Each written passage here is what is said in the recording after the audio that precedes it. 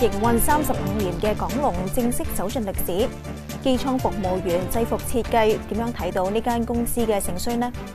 港龍航權交還政府之後，航線會點樣再分配呢？歡迎收睇時事多面睇。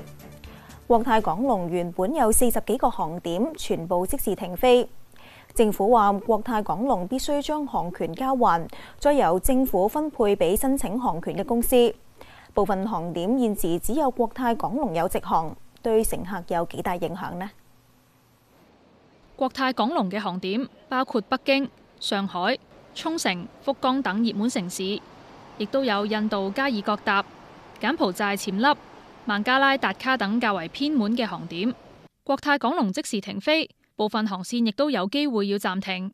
以香港飛檳城為例，本身只有國泰港龍有直航，近期因為疫情停飛。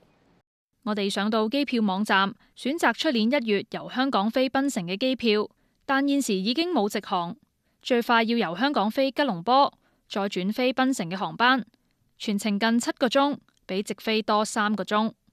港龍結業之後呢，政府係會收翻晒所有嘅航權，咁啊呢個亦都係航線嚟嘅。咁喺咁嘅情況之下呢，就政府遲啲咧就會係將呢啲嘅航權呢。係讓香港嘅航空公司呢係會重新申請嘅。咁喺咁嘅情況之下，如果國泰覺得某一啲航線係有得做嘅話，佢願意營運嘅話呢，咁佢係會可以去申請嘅。運輸及房屋局話，國泰港龍必須交還航權俾政府，唔能夠自行轉讓。當局話已經知悉國泰集團有意申請國泰港龍交環嘅航權，會按機制處理。當然啦，嗰個申請嘅程序啊、手續啊、條件呢，都係公平同埋呢個嘅開放㗎啦。咁啊，但係因為而家香港另外嘅一間航空公司呢，誒嗰個經營上呢都面對比較大嘅困難。咁因此我我估計呢，好多嘅航權呢，就如果國泰覺得咧係有經營嗰個前景，佢去申請嘅話呢，佢好可能係唯一嘅一間航空公司申請嘅啫。咁喺咁嘅情況之下，佢能夠係攞翻啊，可以咁講啦啊，即係嗰啲航權呢個機會呢係相對大嘅。香港直飛廣州嘅航線亦都由國泰港龍獨家營運。呢條航線香港人未必會搭，但就係轉機嘅熱門路線。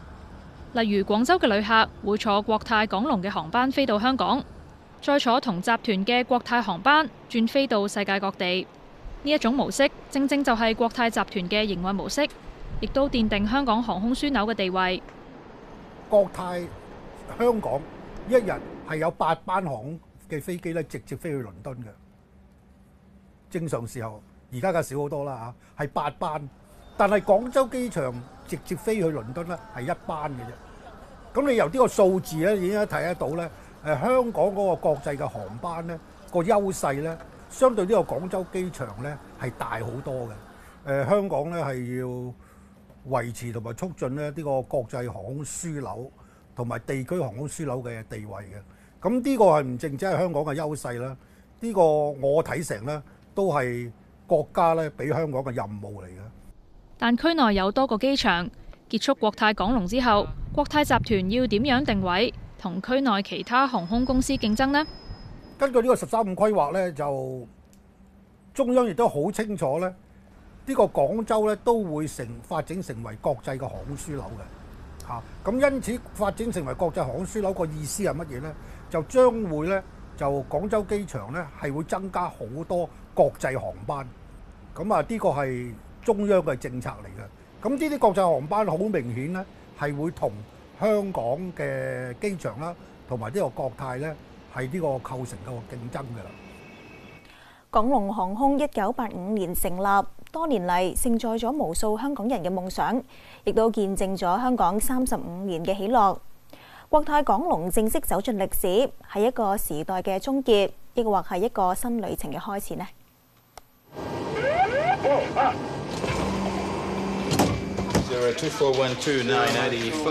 你座位上嘅安全帶係咁樣係上㗎。一九八五年，呢一架印上飛龍標誌嘅飛機衝上雲霄。咁展開港龍三十五年嘅旅程。一九八五年五月，商人曹光標、霍英東等人創立港龍航空，打破當年國泰航空壟斷本港航空業務嘅局面。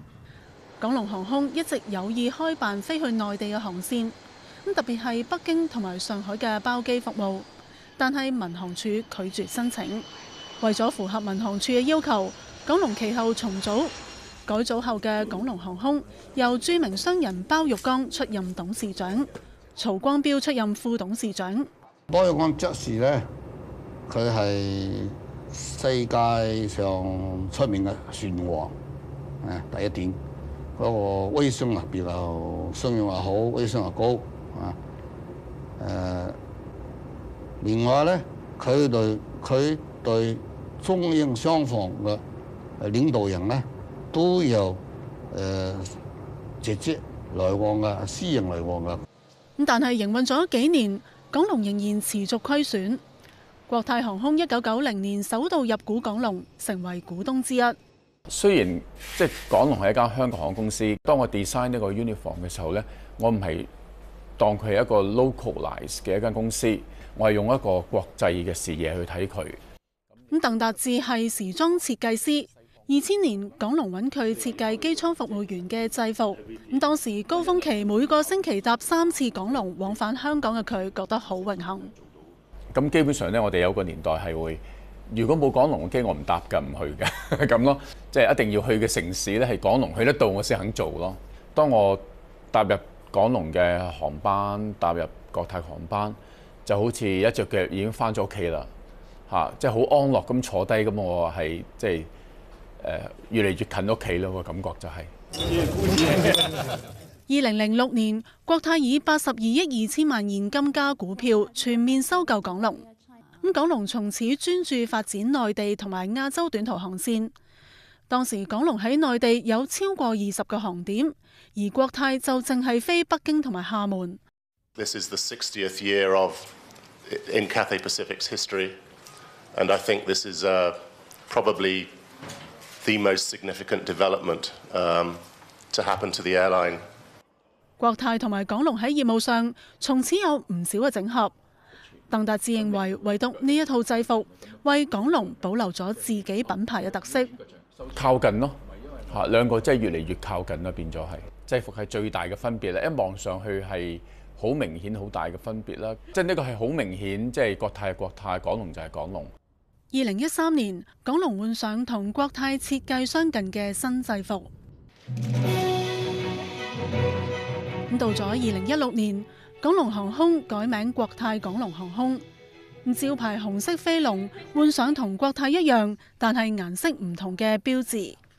新名、新標誌、新制服，港龍嘅色彩逐步淡化。咁最終，國泰宣布放棄港龍品牌，全面停飛。有啲難過嘅，你見到今次其實 out of my expectation 咧係誒，我諗唔到即係。即系我係 per se 嘅啦嘛，其實已經過咗噶啦嘛。其實我 design 個制服，點知系港龍即係呢個即係一刀切嘅時候咧，大家拎出嚟講嘅，竟然係上一套制服，唔係而家套制服咯。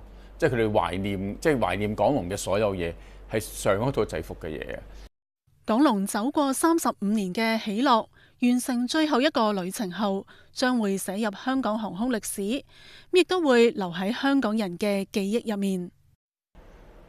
香港隨住時代嘅浪花衝擊，係誒我哋過去認識嘅香港係會慢慢淡化啦。因為我哋面對新嘅時代，其實誒亦都好難唔改變嘅。時事多面睇，今集時間夠啦，再見。